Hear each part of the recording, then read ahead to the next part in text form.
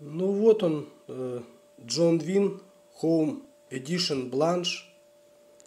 Вот так вот выглядит. Вот. Коробка обычная, ничего такого картонная.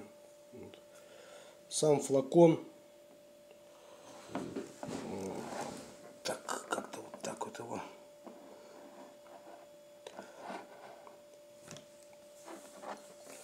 Мне почему кажется, что сам флакон, вот он по форме, вот сам форм-фактор, да, он такой же, как вот у тебя Alpine Home Sport. Почему-то я смотрел это Alpine Home Sport. Мне кажется, флакон точно такой же. Вот тут информация. Но флакон, конечно, сделан так топорно. Тут вот краска поцарапана вот здесь. Вот. Увесистый, тяжеленный. Крышка обыкновенная. Вот она. Пластиковая. Ничего тут особенного. Распылитель вот такой. Распыляет, кстати, как-то плохо.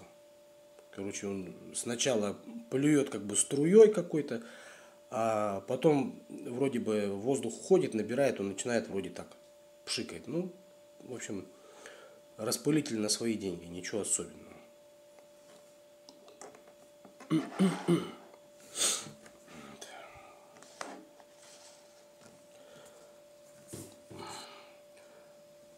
По аромату, ну аромат только, ну лимончик, но все равно чувствуется, что это такой как бы немножко химический лимончик. Вот. Э, стойкость небольшая, наверное, часа два, и громкость небольшая. Э, я не знаю, насколько он близок к оригиналу. Ну, ну, на свои деньги, наверное, он вот тысяча с небольшим, тысяча двести, тысяча триста, сколько он стоит на эти деньги, наверное, он пахнет хорошо. Вот. Ну, посмотрю, до лета постоит. Вот. Как он себя покажет летом. Пока, если честно, я не очень в восторге от этого аромата. Масло, вот это масло от э, Равза, оно мне нравится намного больше. Оно громче, оно ярче звучит. Вот это, конечно, как-то вот, ну, не очень.